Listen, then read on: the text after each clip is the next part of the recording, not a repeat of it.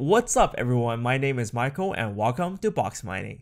So I have a background in the video game industry and one thing I really want to see is the application of blockchain technology in video games. So why is that important? Why do I want that? It's because video games is all about items. You have your guns, your knives, your weapons, your pets, and even your gold. And these are all items and blockchain is all about tracking items. And that is why it just seems like such a natural match. The thing is, right now we don't see a widespread adoption of blockchain technology in video games. And I made a video about this previously about how we can try to grow this and use a project like Enjin Coin to kind of go this from bottom up to get the communities to adopt blockchain and to force gaming companies to do that. Recently, JT from GameFlip called me and he proposed to me a different alternative strategy for that and I want to talk about that in this video.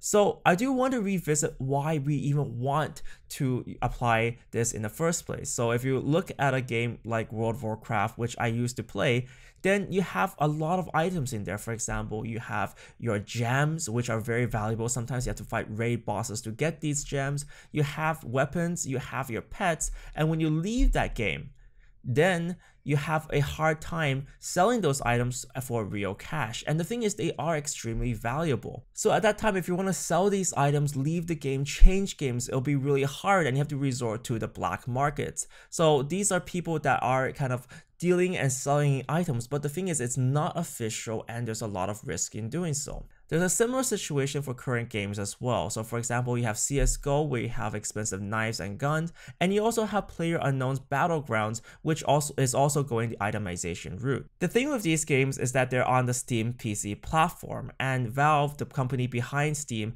provides a way for developers to integrate and create items that can be sold on the Steam marketplace.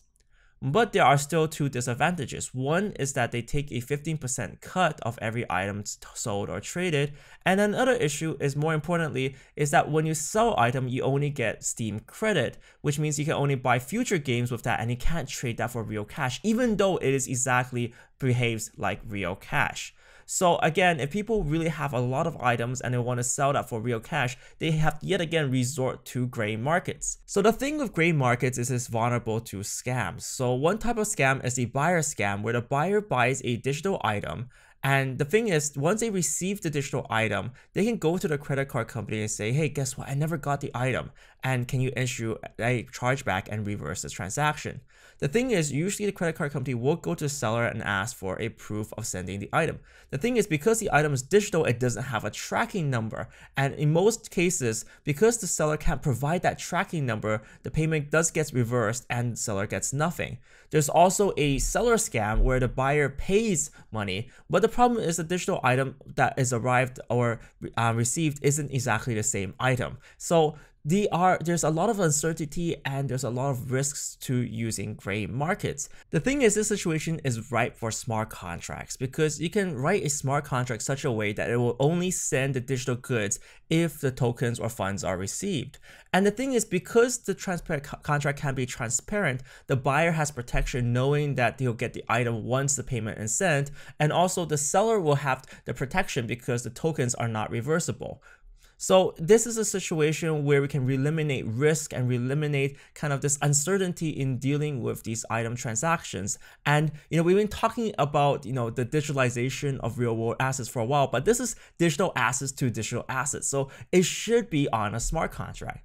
The thing is right now, this kind of system is not implemented because developers don't have the experience and they also don't want to take the risk in adopting such a system. That's why we see currencies out there trying to solve this issue, but we don't see widespread adoption yet. So this leads us to JT. So JT is currently the CEO of GameFlip and is a currently running marketplace for in-game items and games. And previously he's worked for Aeria Games, which is a game publisher. And it's this experience as a publisher that's extremely important and pertinent to this idea.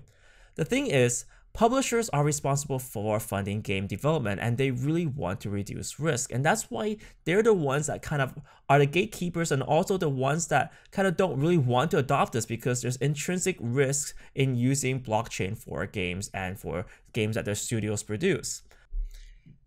For publishers to adopt this, they must see a reason to do so and they must see profits. So what he's proposing is that he's going to try to provide incentives and to build a system for the publishers for them already. And then with the incentives, they now have a objective and a reason to adopt the system. He's built up a team of gaming industry experts, for example, his co-founders from Aeria Games, but also he's got a bunch of advisors. Some of them are from Electronic Arts, Gree, we got Perfect World, and also Glu Mobile. So they got the connections to reach the publishers and get their attention.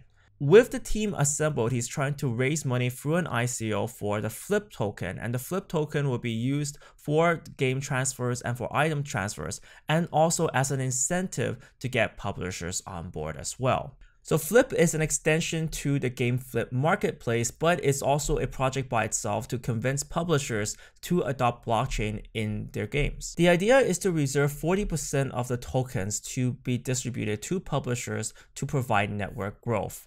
The idea is to lock certain portions of that 440 million tokens and to give them to publishers after they adopt blockchain. So now this will greatly reduce the risk for the publishers to adopt blockchain technology and adopt a flip token because now they have a guaranteed amount of sum of tokens afterwards after adopting the system. And also bring value to the network once they adopt because once they adopt and start using the token, then the value of the token goes up. This will, amount will be distributed almost every quarter for a year. So there's 40 million tokens there to try to incentivize developers to go on board. Of course, this doesn't mean every developer can hop on board. That is because developing a game is immensely expensive, costing, you know, for small games, 5 million is quite easy to pull off. And for most expensive games, 20 to 30 million per game. So this incentive will probably be for a combination of medium-sized developers, or if big developers want to try to monetize and use the blockchain on a small portion of a game. So it won't be for the whole game entirely, but they can potentially be incentivized to try this out for the next item loot drop box, for example. So taking small steps, but with the right people is the kind of aim for of GameFlip. So what do I think about this project? Well, I feel like this is a step in the right direction. We definitely need to have another way for game developers and publishers to hop on board. We definitely they, they've definitely seen blockchain technology around and it's been around for a long time, but we don't see the adoption. And having advisors with experience in the industry and pull in this industry is extremely important for the adoption. So in a way, by contributing to this ICO, not only are you sponsoring the development of this project, the smart contracts, and the SDKs for it, kind of paving the way to make it go forward, but you're also providing a way for the publishers to get tokens and to be incentivized to go and hop on board it is kind of a little bit unfair if you think about it. They are a billion dollar industry and they should be the ones coming to us. But it does turn out that, of course, if you want true item ownership, this is something that we do have to fight for. And it's something that will get allow uh, the cryptocurrency community to gain overall on the whole. Of course, you are trusting Flip to be able to get these publishers on board. And this is something that is quite difficult. So I will make no exceptions there. Negotiating with publishers, even if you have the connections inside, is quite difficult and getting a good collaboration going is hard. You know, you can get a promise of a collaboration, but to get the next token in the next Assassin's Creed game or in the next Glu game, like the Kim Kardashian game or whatever that's going to come out, is going to take a little bit of effort. And there's going to be a lot of trial and error before this is over. But I do believe that overall, cryptocurrency does provide a huge value to the gaming community and this is one of the ways to push for that. What do you guys think about this? I'd love to hear your comments below. Do you think this approach is valid? Do you think that having the publishers on board and persuading them to go from a top down approach is good? Or do you think the bottoms up approach is good? How do you think is the best way to solve this problem and get cryptocurrencies adopted and what do you think is the best way to get blockchain technology used in gaming? Because I really think that this is something that gaming is dying to accept. Of course, there are other games that are trying to use new tradable items, but they don't have tradable items. And that might be because the developers really just want to lock them into that ecosystem. So we see Blizzard going that way as well. And what do you think about this movement? Do you agree with that? Do you think items should be tradable? Leave a comment below and I'd love to hear what you guys have to say. Thank you guys so much for watching this video. Remember to subscribe to this channel and click the notification bell to receive notifications of new videos. Thank you guys so much for watching. See you next time.